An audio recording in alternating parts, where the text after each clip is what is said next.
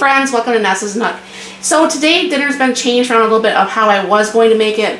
I had saw this video on the the reels that's on Facebook and it looked amazing. However, we didn't cut up that 40 pounds chicken on time and we had to run and pick up um, groceries and all that. So we're just going to have the chicken and actually have some of that flavoring on there. Mark had some of this actually for lunch on his um, chicken, wings. chicken wings, okay?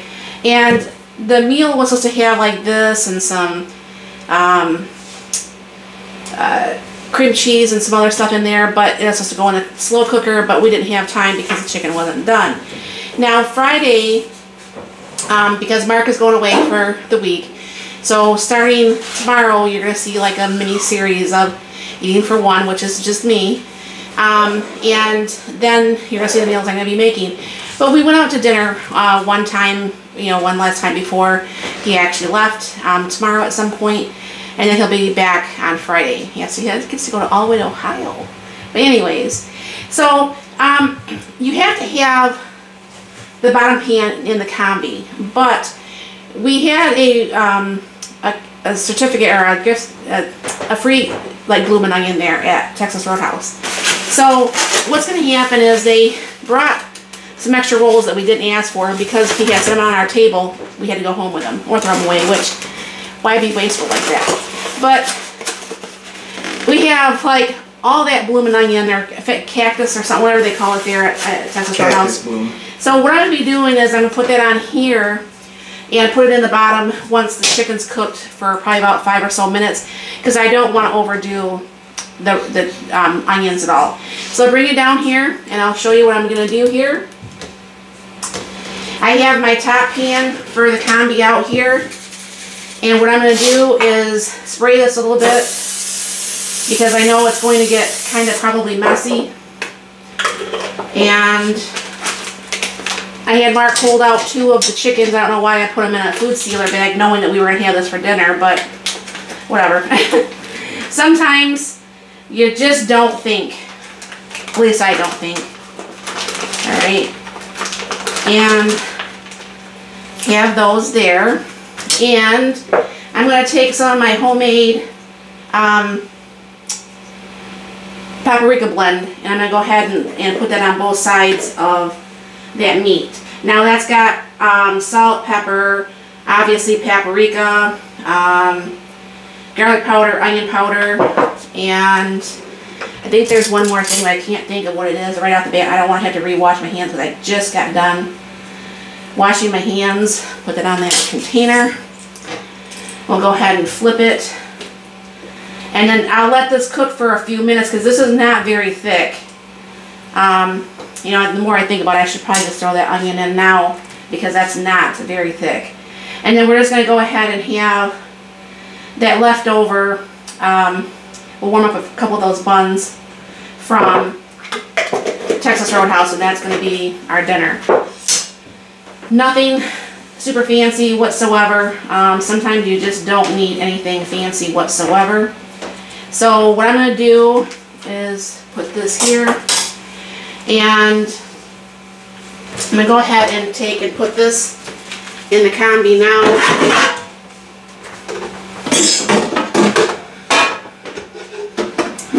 Put it up on the top shelf. Now I do have my can already going. And I'll go ahead and put, they actually gave us some of the sauce and stuff too. Um, Think we're going to need that whole bit of onion, but I'll just warm it up just to be on the safe side. I don't think we're going to eat it because there's still going to be the, the buns and stuff. Did you want those couple pieces of broccoli? Okay. I'll eat those later myself. So anyways, hopefully you can see this. What is going to happen is this is going to go, oh, I got to put some water in here. Hold on. Put about a half a cup of water in this bottom tray. Because I'm going to go ahead and put this on the combi. Um, if you go down here, it says combi crisp.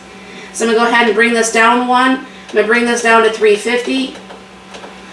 And I'm going to go ahead and hit start. Now what's going to happen is these lines are going to line up for about two or three minutes. This is going to get a little bit steamy and then um, this is already on the right side because that left side does this left side, this right side does this right side. So I'll bring you back um, once um, this cooks just a little bit and I'll go ahead and put some of that Sweet Baby Ray's on there and we'll get dinner started or finished. Alright, it's getting towards the 10 minutes. So what I'm going to do is I'm going to go ahead and take my little grippy thing and open up the door.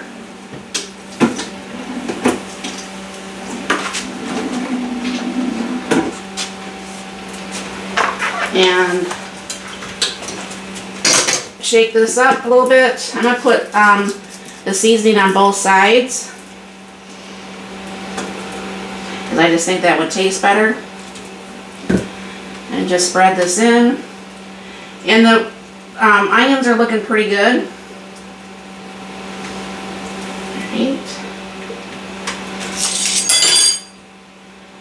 Grab, grab the chicken. Flip that. And put sauce on this side. And spread it in. That smells so good. If you guys get a chance to actually buy some, I would highly recommend buying some if it smells really, really good. So what's going to happen is I'm going to go ahead and put this back in and um, let that go for the rest of that 10 minutes and get that cooked.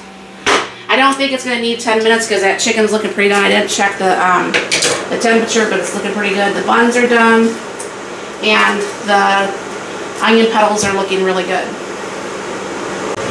Alright, so I still have the onions going and as you can see the chicken is actually done. I'm going to just go ahead and just let that rest Well, the onions are getting done here. So it's way past the 165. I didn't want to overcook the chicken.